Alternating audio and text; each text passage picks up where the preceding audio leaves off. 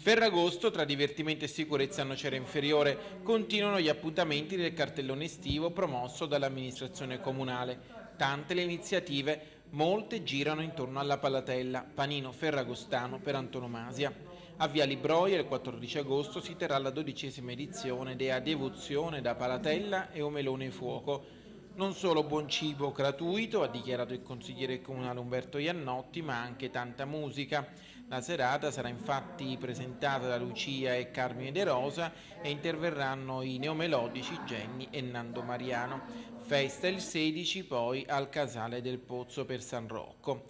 Tutto sarà tenuto sotto controllo dai vigili urbani impegnati nel progetto Estate Sicura a Nocera Inferiore progetto Estate Sicura è un progetto che eh, entra a pieno regime diciamo, da questa metà di mese con la copertura della presenza di pattugliamento soprattutto nel, nei fine settimana, eh, il grosso della copertura ci sarà soprattutto il periodo di settembre.